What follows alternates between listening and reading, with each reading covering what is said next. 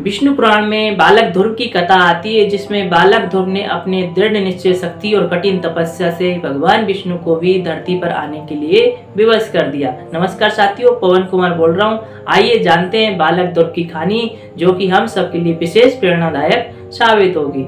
Dear friends कहानी इस तरह है। महाराज उत्तानपाद के दो रानियाँ थी, सुनुति और सुरुचि, जिसमें बड़ी रानी का नाम था सुनीति। सुनीति मीन्स जो कि शास्त्रोक नीति से चले और सुरुचि यानी जो छोटी रानी है, सुरुचि मीन्स जो अपनी अपनी रुचि के अनुसार चले। तो बड़ी रानी का जो पुत्र का नाम था तो ध्रुव था और छोटी रानी का जो पुत्र का नाम था तो वो उत्तम था।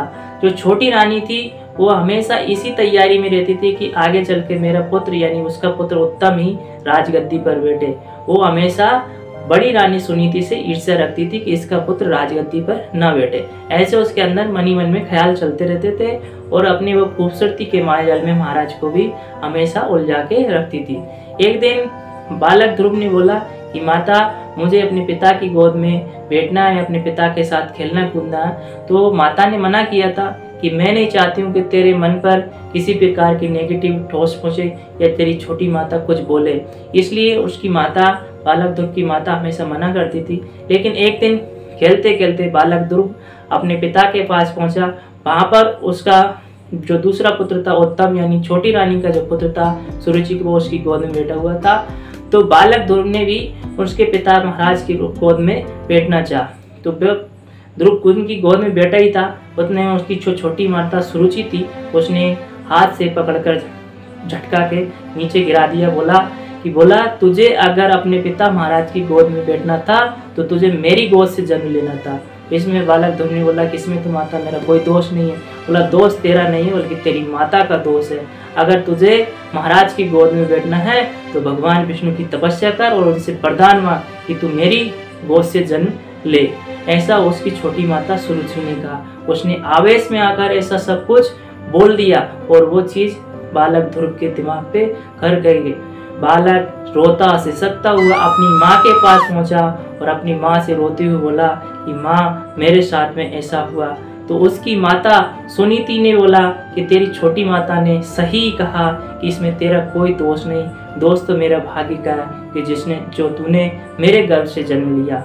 और फिर उसने बोला कि, तेरी माता, छोटी माता ने सही बोला कि तू भगवान विष्णु की तपस्या कर, जो राजाओं के राजा है, महाराजाओं के महाराज है, सम्राटों के सम्राट है, जिनकी अगर कृपा हो जाए तो महाराज की गोद तो क्या वो अपनी गोद में भी बिठा ले। जिनको प्राप्त करने के, कर लेने के बाद संसार में ओज कुछ प्राप्त करना बाकी नहीं रह जाता।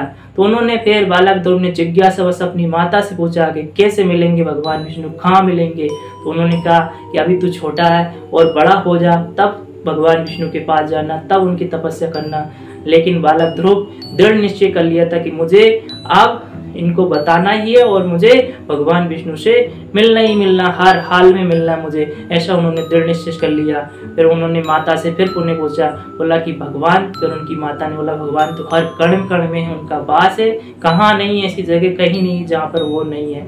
वो कठिन तपस्या से प्राप्त होते हैं।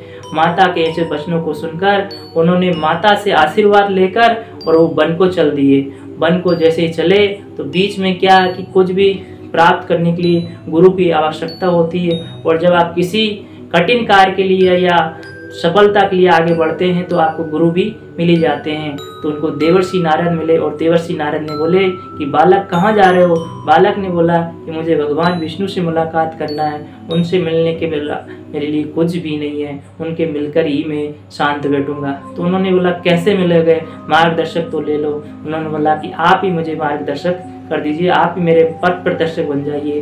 तो उन्होंने कहा, ठीक है, मैं आपका गुरु बन जाता हूँ। फिर उन्होंने गुरु मंत्र के रूप में उनको ओम नमो भगवते वासुदेव का मंत्र ये द्वादश अक्षर का मंत्र दे दिया और बालक ध्रुव को बता दिया कि निरंतर इस मंत्र का, बिना सांस टूटे इस मंत्र का जाप करते रहो। तुमको भगवान विष्णु जल्दी मिल जाएगा।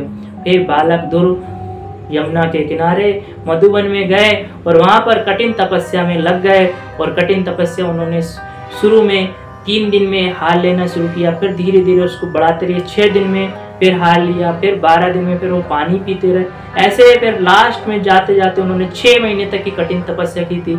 लास्ट में फिर उन्होंने अपनी सांस की गति भी रोक दी थी। जब सांस की गति रोक दी तो समूल, समस्त विश्व में श्वास की गति रुक थी। सभी प्राणियों को सांस मिलना बंद हो गई।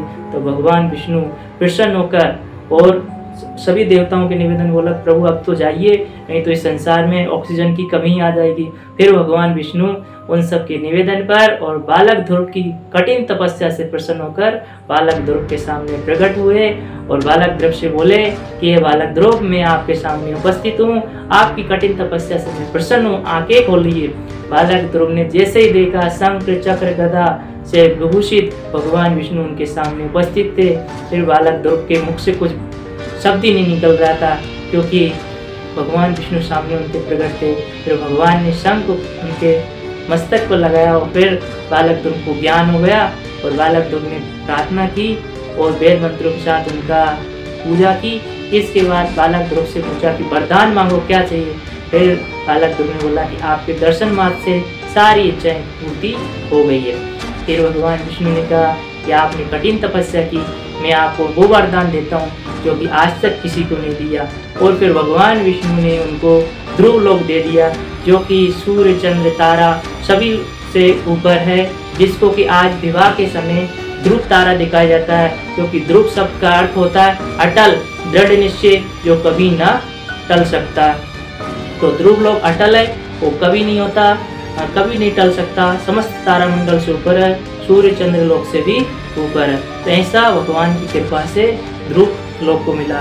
जो ध्रुव लोक है, वही ध्रुव तारा के नाम से जाना जाता है। इस इंग्लिश में नॉर्थ स्टार बोलते हैं तो इससे स्वाभाविक कहते हैं ये उत्तर दिशा में और ये भोर के समय में दिखाई देता है। तो माय डियर फ्रेंड्स व्यक्ति के मन में दृढ़ निश्चय शक्ति और मन में काम करने का अगर आत्मविश्वास हो तो वो अपने पुरुषार्थ के द्वारा असंभव को भी संभव कर सकता हूँ। आशा करता हूँ इस कहानी से हमको बहुत कुछ सीखने को मिला होगा।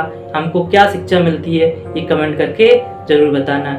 जय हिंद फ्रेंड्स ऐसी मोटिवेशनल कहानियों के लिए आप मेरे चैनल को सब्सक्राइब करें। Thank you